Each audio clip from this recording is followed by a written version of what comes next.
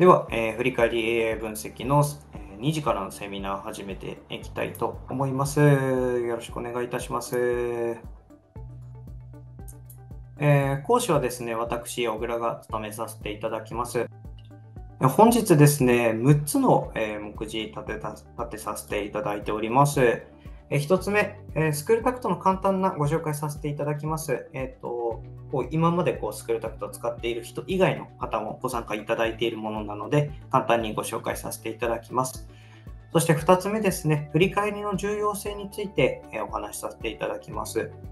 え3つ目、振り返りの再編さについて、えご説明させていただいた上で、えそして4つ目、振り返り AI 分析のご紹介、操作体験、えその次に質疑応答と進んでまいりますので、どうぞよろしくお願いいたします。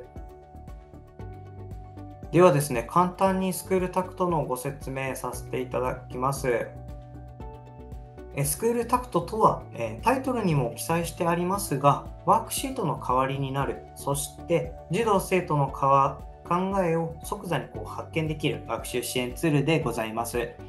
3つキーワードを挙げております。サクサク、簡単、何でもと3つ挙げさせていただいております。1つずつご説明させていただきます。サクサクはですね、動作が非常に軽くてですね、生徒と先生のやり取りがこう円滑に滞りなく進められるので、キーワードの一つにサクサクと挙げております。また、簡単はですね、直感的な操作で、ここを押したらテキストが入力されそうだなであったりとか、ここを押したらペンペンで書けそうだなといったこう直感的な操作ができる UI となっております。低学年の生徒でも非常にこう使い勝手が良いというお声もいただいておりますので、真ん中にこう簡単と入れさせていただいております。そしてに最そして最後に、えー、何でもと挙げております。この何でもというのは、どんな授業であっても幅広く対応できるという意味で挙げております。個別から共同、共同から個別、さまざ、まなこう事業スタイルに滑らかに馴染むようになっておりますので、何でもと付けさせていただいております。はい。えー、簡単に、え、スクールタクトのご紹介させていただきました。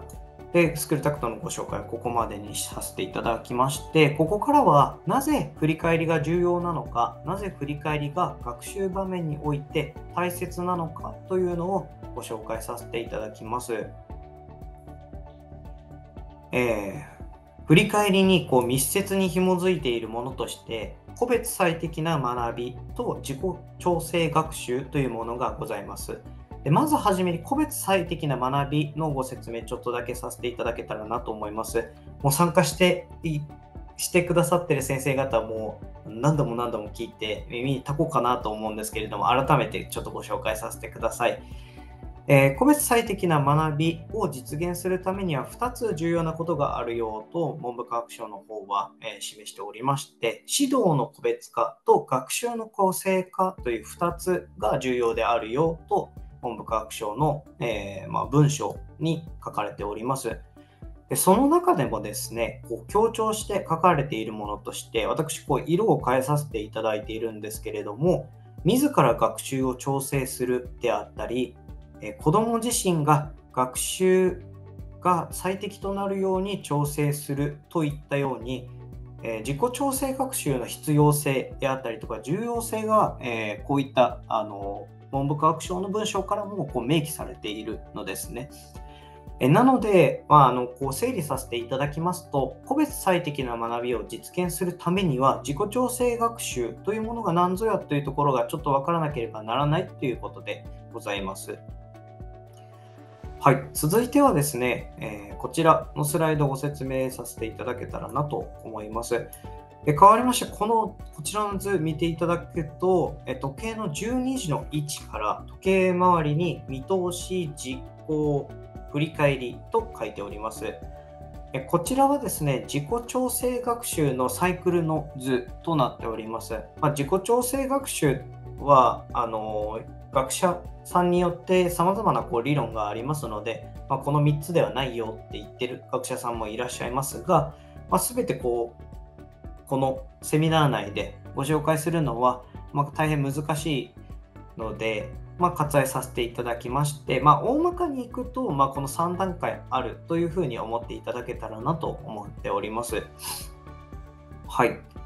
でですね、え自己調整学習には見通し、実行、振り返り、この3つの段階がございまして、これをぐるぐるぐるぐる、こう1人、自分の中でこうぐるぐる回しながら自立した学習者を目指していくという理論でございます。でこの中で見通し、実行、振り返り、この中でも振り返りがかなり重要なんじゃないかなと私どもは考えております。自分自身の学びを確認し、学習状況や自分自身の成長をメタ的に捉えるため、振り返りは大切として私たちは置いております。でもっと言えば、見通しと実行の部分は先生方普段からやられているんじゃないかなと思います。生徒と、児童生徒と一緒にこう目当てを考え、今日はこれを考えていこう、今日はこれが分かったら OK だよっていうのを、え皆さんもやりながら、で、それを生徒に取り組ませていく。で、皆様こう、自己、見通しと実行はもうすでにやれている状態なんですよね。で、そう考えると、振り返りの指導であったりとか、児童生徒が振り返りのやり方さえ分かれば、マスターすれば、自己調整学習、聞いて個別最適な学びが実現できるのではないかなと思いまして、え、こういったスライドをご用意させていただきました。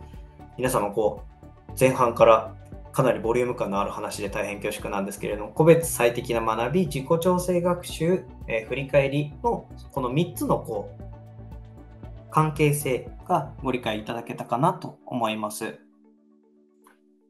でですね、とはいえ、こう振り返り活動、大変だと思います。こうなぜ振り返り活動がこう大変なのかというのをちょっとご紹介させていただけたらなと思います。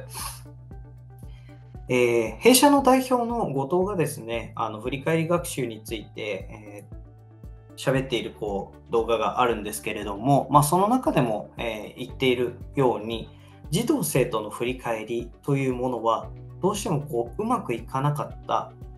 であったりとか、何々ができなかったのようにこう反省文のようになってしまいがちでますでありますし、まあ、振り返りまあ、児童生徒にこう書いてねと言って書かせているはいいものの、まあ、なんかそれを使って次の授業にうまくこう活かせてる感覚があまりないという先生方たくさんいらっしゃるというのがこうユーザーヒアリングから、えー、見えてきましたので、まあ、やっぱりこう振り返りの時間を取ることが難しいしできたとしても振り返り文がどうしても反省文のようになってしまって次の学びに生かしていくことがなかなかこう難しい現状だなと思っております。でですね、そうしたこの背景、振り返りの重要性を分かりつつも、振り返りにあまり時間を取れない。もっと言えば、振り返りが、振り返りの文章について、こう、きちっとこう伝える場面がなかなか持てないっていうこう現状とのこのギャップを埋めるために、私ども振り返り AI 分析というものをえ、作り出しましたので、今度は振り返り AI 分析のご紹介させていただけたらなと思います。大丈夫そうですかね？ここまでだいぶスピード感持って、え、お伝えしておりますが、問題なさそうですかね？はい。ではですね、振り返り AI 分析のご紹介させていただきます。振り返り AI 分析とは、えー、と題しまして、こう簡単にお伝えしますと、日頃、えー、授業で行っている振り返り、あの先ほどのやつですね、振り返りのこの見取りであったりとか、分析を先生側、児童生徒のこう両側面からこうサポートするツールとなっております。まあ、学習科学の理論に基づいて、弊社がこう独自開発で作った AI が児童生徒の文章を客観的かつ素早く5つの観点で分類いたします。で、5つの観点というものが、事実、感想、考察要因、考察仮説、結論の5つに分類しております。画面投影されているようにこう画面左側のようにこうレーダーチャートやこう散布図の形式でこう分析することができます。これをちょっと見るだけでもなんとなくこうワクワクしてきますよね。はい。でですね、振り返り AI 分析えー、用いるこうメリットとして主に3つ取り上げさせていただきます。えー、1つ目がですね、学びの傾向の把握と書かせていただいております。レーダーチャートであったりとか、散布図の形式でこう分析結果を出力しますので、素早く個人であったりとか、クラス全体の学びの傾向を大まかにつかむことができます。えー、2つ目が主体的、対話的で深い学びの実現です。えー、児童生徒が、まあ、これあの前段でお話ししたようにこう個別最適な学びの実現につながってくるんですけれども、まあ、児童生徒がこう自分であったりとか友達の振り返りの結果内容を見てもう改善をこう繰り返していくこう見通し実行振り返りのこのサイクルをですねこう回していくように改善を繰り返していくことによって自己調整しながら主体的対話的に学習を進めることができまあ、さらに言えばですね、先生方、あの振り返り文をこう見と見てあの、この子は仮説が弱いなであったりとか、あ、この子は感想文ばっかりになってしまっているなっていうこう経験値、すでに終わりだと思います。その経験とデータを掛け合わせて、こうさらなるこう授業改善が可能になるかなと思って、えこちら挙げさせていただいております。えそしてですね、最後に働き方改革の支援でございますえ。例えばですけれども、こうノートで、まあ、ノートないしはこうプリントでですね、振り返り文を確認しようとします。で、1人当たりこう30秒をかけて確認すると、30人、30人分を見てしまったら、15分かかっていることになりますよね。で、えっと、まあ、この15分、え違うところに時間ぜひ使っていただきたいな、子どもたちのこのさらにこう学びを深める活動に使っていただきたいなと思いますので、まあ、振り返り AI 分析を使っていただき、1分程度で個人であったりとか、クラスの傾向を確認していただき、働き方改革につなげていただければなと思っております。えざっと説明させていただきました。振り返り AI 分析とはどんなものなのか、振り返り AI 分析を使うとどんなメリットがあるのかというものをご説明させていただきました。えそれではですね、私の話、長々と15分もしてしまったので、ここからは操作体験入っていきたいと思います。えではですね、私、え皆様にこう課題を配りたいと思います。はい。じゃあ、配りますね。えっ、ー、と、課題を配ります。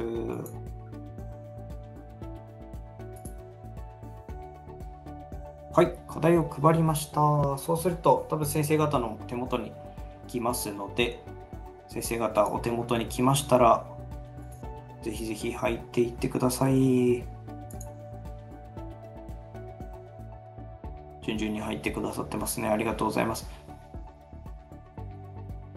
入り方わからない方もう一度説明させていただくと、担当授業を、全授業を、受講授業の、受講授業のタブにで待ってていただくと、私が先ほどお配りした課題が届いているかと思います。そ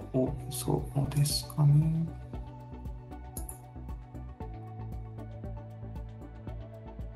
はい、参加できる方からこう参加していただけたらなと思います。順次こうさ、えー、入っていただいても全然大丈夫ですので、ぜひぜひ入っていってください。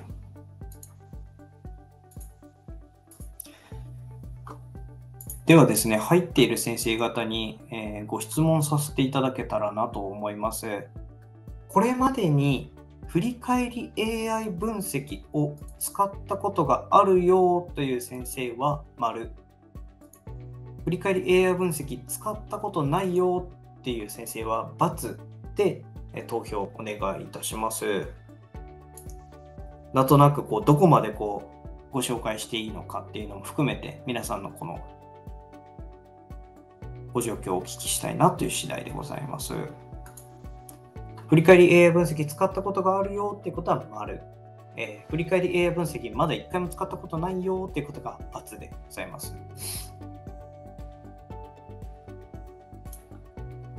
多分ですね、皆様のこう画面に出ているかなと思いますね。はい。もう大体、ちょっと使ったことがない人の方が多い感じがしますので、そうですね。使ったことがない先生が多いイメージなので、えっと、細かくちょっとご説明させていただけたらなと思います。はい。ではですね、先生方には、えー、取り組んでいただきたいことがございます。もうここに書いてあるから、あの、察しのいい先生はわかるかなと思いますが、先生方の1学期を振り返って、えっと、ここの回答欄ですね。ここに記入、ここに入力できますっていうところに、えー、1学期取り組んだこと、感じたこと、うまくいったこと、まあ、ちょっとこれ時間が戻るんだったらこれやり直したいなであったりとか、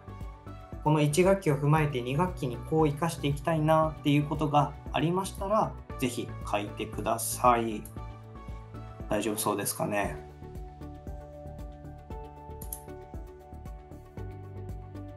でそうですか？もしじゃあ OK だったら、多分あの、分かった分からないボタンがあると思うんで、分かったを押してもらえるとすごく嬉しいです。あありがとうございます。分かった。たくさん押してくれくださってますね。はい。ありがとうございます。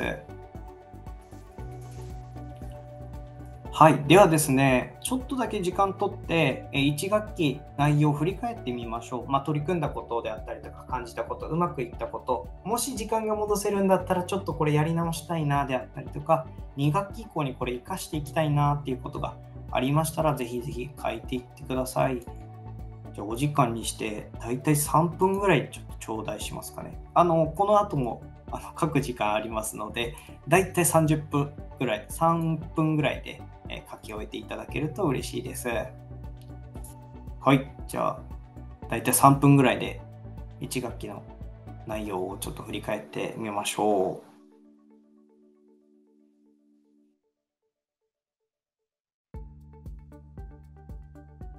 う。はい。たくさん書いてくださってますね。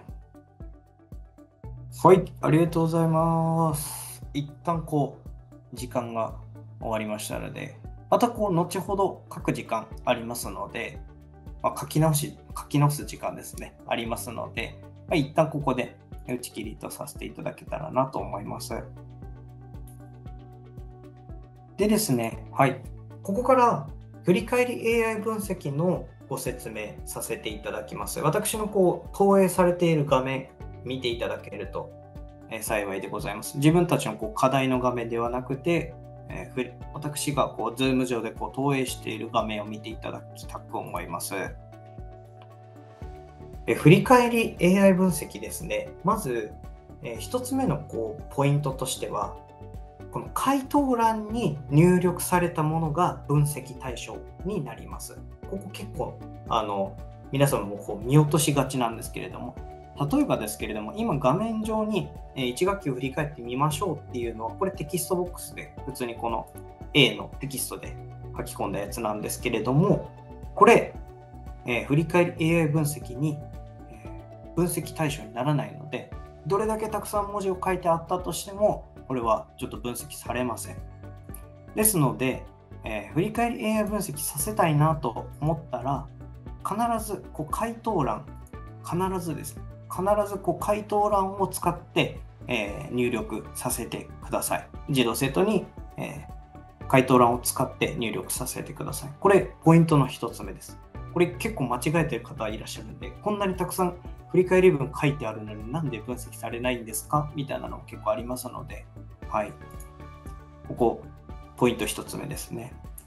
で、振り返り分析どこからやるのかって言いますと、画面右上右上ですね、あの、この灰色の男の子がくるりんってなっているマークですね。これを押しますと、振り返り AI 分析というものになります。多分皆様まだ出ないんじゃないかなと思います。はい。これを押しますと、画面が遷移しまして、えっと、分析の範囲と、あとはどこの回答欄を分析しますかみたいなものが出ます。この分析閲覧の範囲、まず一番初め、先生のみから始めていただくのがいいんじゃないかなと思います。先生のみというのは、先生が児童生徒のやつを全員分分析結果が見れるということですね。で、児童生徒たちは、まあ、どんなふうに分析されているのかは結果は見えないっていう状況になります。で、先生と本人のみにしますと、私と例えばこう A 君がいたら私と A 君だけこう分析結果が見えるようになる。A 君の分、えーと、振り返り分がですね。なのでこう B 君は見えない。B 君は A 君の振り返り文章であったり振り返り分析の結果は見れないけれども先生と本人のみでやり取りやり取りといいますか、えー、分析結果が見合える状況になります。でえっと、先生と生徒全員という形にすると、まあ、簡単に言うと共同閲覧ボードみたいな感じになると思っていただけるとすごく分かりがいいのかなと思います。先生もみんなの、えー、分析結果が見れますし、例えば A 君が C 君の分析結果を見に行ってそれを、えー、使って自分の文章をもうちょっときれいに整えるみたいなこともできます。なので、えっと、簡単にですけれども、先生と生徒全員で一回分析かけてみたいと思います。で、こちらですね、分析範囲設定して選択してくださいというふうに書いてあるんですけれども、回答欄であれば、すべてこう選択することができます。例えばですけれども、学習に対しての振り返りが1個あって、えっと、グループ活動に対しての振り返りが 2, 2つ目にあってで、この両方とも分析かけたいんだよまたは学習の方はいいからグループの方だけ分析かけたいんだよっていう場合がありましたらこの選択をどれを分析対象とするのかというふうにこう選んでいただいて分析するを押しますと右上ですね分析するを押しますと、えー、振り返り、えー、分析かけられることになります。はいじゃあ早速分析してまいります。今多分皆様全員でこう、そうですね、先生と生徒全員で分析にしてますので、えー、皆様のこう文章が、全員の文章が見れるし、自分の分析結果も見れるようになっているかなと思います。えまずですね、観点別の、えー、この全体のこうご説明させていただけたらなと思います。この散布図の説明から参りますね。画面左側の散布図の説明から参りますと、縦軸、文字数となっております。まあ、これ、これだけでも結構簡単にいいですよね。どれぐらいの文字数が書けているのかっていうものですね。で、横軸ですけれども、理性的、感性的と書いております。えっ、ー、と、ここでいきますと、考察、仮説であったりとか、考察要因が、えー、文章の中に多く出ていれば理性的な文章でございますし、感性的は、感想がすごくたくさん出ていれば右側に寄っていくというこう仕組みになっております。なので、例えばですけれども、この1310の先生は文字数結構書いてくださっていて、なおかつこう感想が多い文章になるのかなと思います。で、え、1306の先生は文字数270文字ですね。5分間で270文字すごいですけれども、え、1306の先生は270文字かつえー、考察仮説であったりとか、考察要因の文章が非常に多いということになっております。はい。で、散布図の見方は大体この感じ。で、えー、このレーダーチャートですね。事実、感想、考察要因、考察仮説、結論というふうにこう、5つの観点で分析しますよっていうお話、えー、回の前半にさせていただいたかなと思うんですけれども、事実、感想、考察要因、結論、これでいきますと、クラス全体として、まあ、考察だったりとか仮説の文章が若干少ないよねっていうのがパッと見でわかるかなと思います。はい。で、えっ、ー、と、1人ずつの文章をこう見ていきますと、色が引かれる形になりますね。例えばですけども、共有で見合った後どう展開するといいかさらに工夫したい何々したいっていうこう次に向かうような文章なので結論が出てきますしおこの先生すごいですね。ここ3本線が引かれてますけれども、事実、感想、あと考察、要因と引かれていますね。やっぱたくさん文章を書くと、やっぱりこう、五角形として、えいいものが出来上がっていくのかなと思いますね。はい。まあ、文章をとにかく書けばいいっていうわけではないんですけれども、はい。で、例えばですければ、1307の先生は、たくさん文章を書いてくださってるんですけれども、まあ、この弊社側の問題ではあるんですが、文末表現などをちょっと変えていただくと、えー、分析うまくかかるかもしれません。とにかく生徒たちに単元ごとの振り返り習慣をつける、つけさせるように取り組みましたであったりとか、そういったこう文末表現を若干変えるだけでもまた分析結果変わってきますので、また後ほどこうやっていただけたらなと思います。はい。こういった形でですね、あの、アンダーラインがこう引か引かれる形になりますね。そこに該当する。あ、これとかさ良さそうですね。感想の。さらに活用の幅が広がればいいなっていう、こう、すごくこう感想的な文章を書いてくださってるので、これはとてもいいかなと思います。はい。ところですね。でですね、じゃあ結局のところ、どんな文章が何にこう当てはまるんだっていうものをちょっとご説明簡単にしたいと思います。また新しい課題配りますので、そちらの課題に入っていただけますでしょうか。じゃあですね。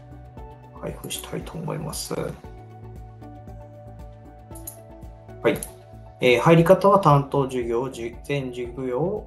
受講授業の受講授業をしていただくと入れるようになりますので、ここから入ってください。大丈夫ですかね？ちょっとテンポ感が早いですかね？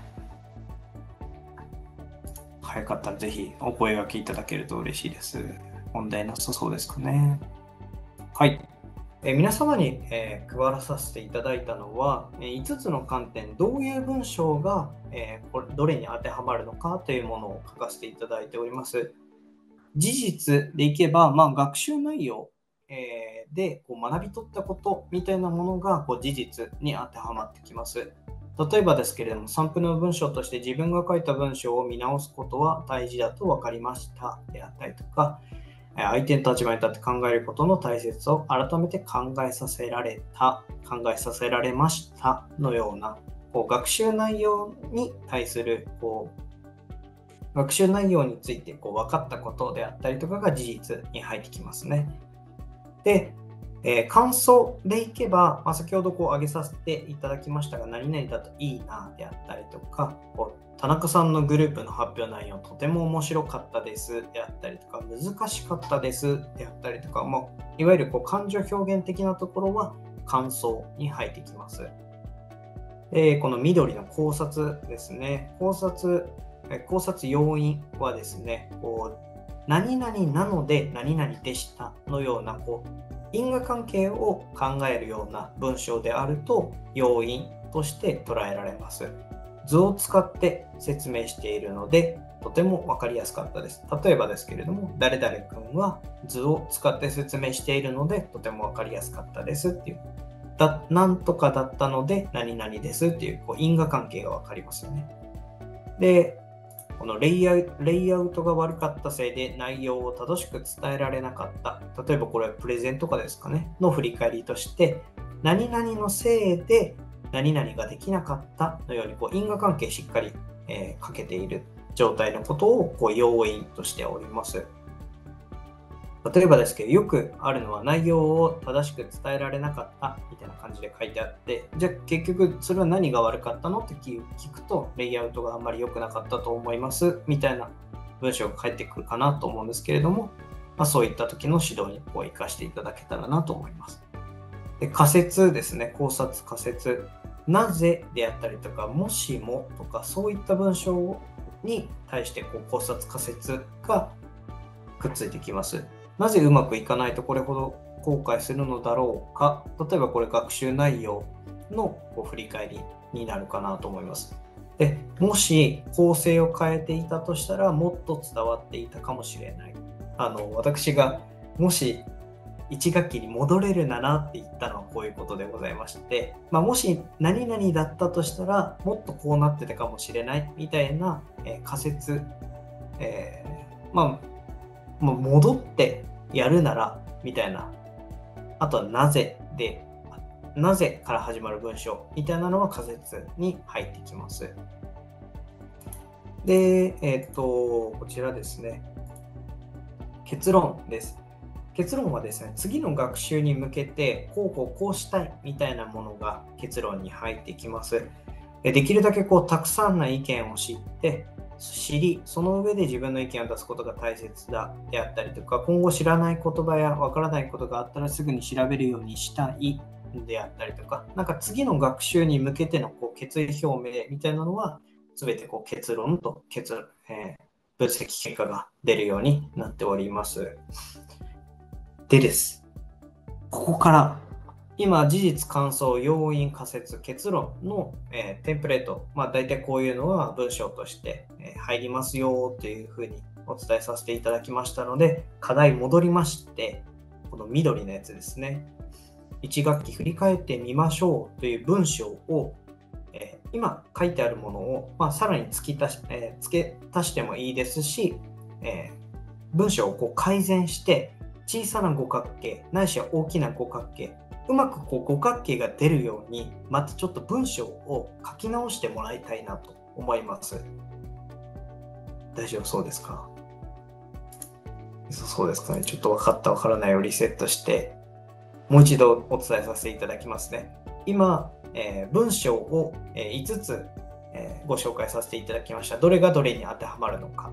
それを理解してもらった上で、このレーダーチャート、五角形をきれいな五角形にしていただけたらなと思います。まあ、小さな五角形でもいいですし、えー、大きな五角形、まあ、少なくともこう全部の観点がうまく出るようにまたもう一回こう書き直していただけたらなと思います。分かった方、分かったボタンを押していただけると嬉しいです。これからやるべきことですね。はい。ありがとうございます。もう早速こう書き直してくださってるので、はい。で、始めていけたらなと思います。で、先生方、あの、適宜こう、文章の構成をするために振り返り AI 分析、分析するってボタンを押していただくと、もう分析できますので、あくそ考察仮説がうまく出ないなであったりとか、まあ、そういったのも自分でこう、えー、構成文章の構成をしながらぜひ取り組んでいたいただけたらなと思います。はい。じゃあ時間にして大体ですね3分もう1回3分ぐらいはいご用意させていただきます。ぜひ、まあ、綺麗な五角形とは言わないのでえー、うまくこう五観点が出るようにぜひ文章を作ってみてください。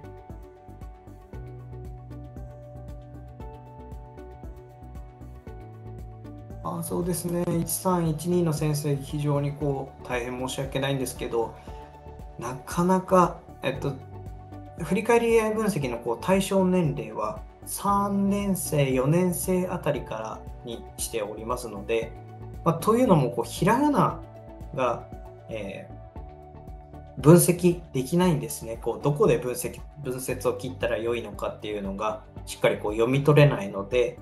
1年生は、まあ、まずはあのタイピングであったりとか、スクールタクト上のこうカメラの機能であったりとか、1年生でこうできるところからスタートしていただけたらなと思います。でも先生のこの前向きな姿勢みたいなのがすごく良いかなと思いますので、ぜひこのセミナーで、えー、分かったことみたいなのを学校に持ち帰っていただいて、高学年の先生、中学年の先生とかに、この機能を使ってみたら面白いよっていうふうに伝えていただけると、すごく嬉しいなと思います。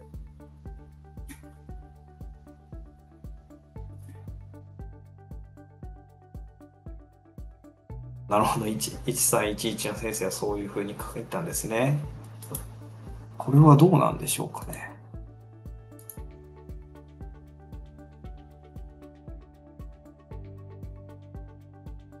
おいいですね。確かに。かこういった形でこう引っ張ってくるとできますよね。面白いですね。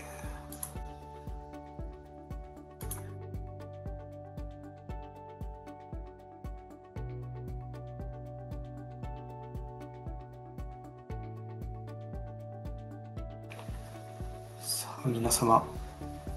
あと1分程度でございます。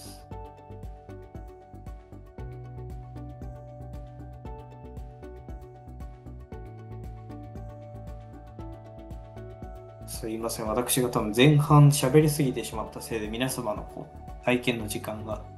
なかなかなくなってしまったので。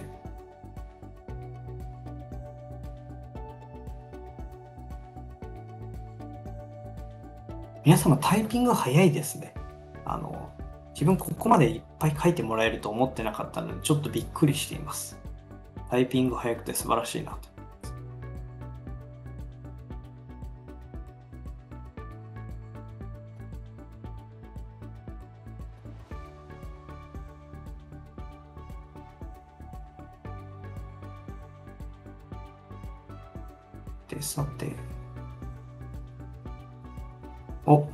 りました。ありがとうございます。ではですね、先ほどの分析結果と比べてどうだったのか？明らかに違いますよね、これ。明らかにさっきの五角形よりも大きくなっているのがわかるかなと思います。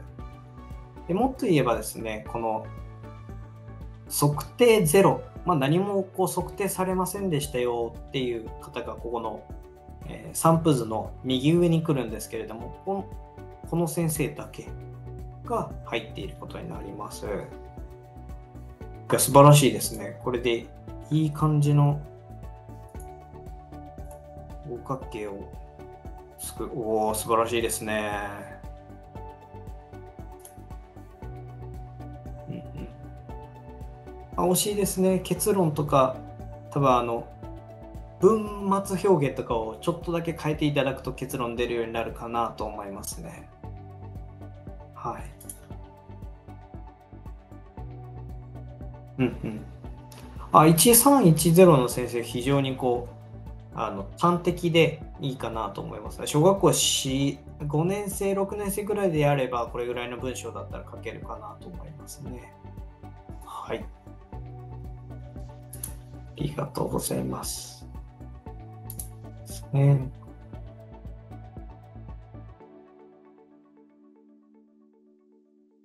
おいいですね。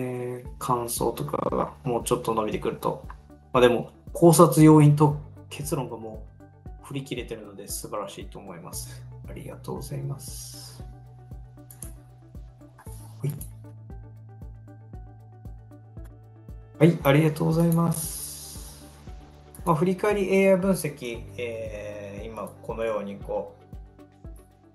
う体験していただきましたが、まあ、あの私どもがご提案できるのはここまでかなと思っていましてあとはもう本当に先生方が、えー、児童生徒のこう実態に合わせていただいてこう進めていただくのが一番いいのかなと思っております。でですね、やっぱ小学校高学年ぐらいになると、高学年の男の子とかになると、非常にこう、なんていうんですかね、このレーダーチャートをうまく埋めようっていう風になる子が結構いますので、まあ、そういった子をこうモチベーション高くしてある程度こう例文っていうのをこう量的にこう自分で確保した後にこの単元では今何が求められているのか。例えばですけれどもえっと、理科の、えー、実験のタイミングで、えー、因果関係を知りたいから、ここでいくと考察要因が伸びててほしいけれども、なんか文章がやたらめったら長くて五角形を目指そうとするのはちょっと違うよねみたいな話ができるようになるとさらにいいのかなと思いますね。まず一番初めはこう振り返り分析を子どもたちも先生方も楽しんでもらう。で、その上に、えー、じゃあ今求められている振り返りって何だと思うかっていうのがきちっと分かった上で書けるようになってくるができるようになりますと一番初めに戻って自己調整学習であったりとか個別最適な学びにつながっていくかなと思いますのでぜひぜひ振り返り AI 分析楽しんでこう使っていただけたらなと思っております。はい、お役立ち情報として、ちょっと午前中も出られた方いらっしゃるかなと思うんですけれども、スクールタクトの活用ライブラリー、えー、実践事例集であったりとか、えー、ウェブ動画研修、LINE アカウントなどございますので、えー、そちらもぜひチェックしてください。もっと言えばですね、振り返り AI は振り返り AI だけのウェブページがございますので、そちら見ていただくと、お、なるほど、こういうことかというものが分かりますので、ぜひぜひ調べていただけると幸いでございます。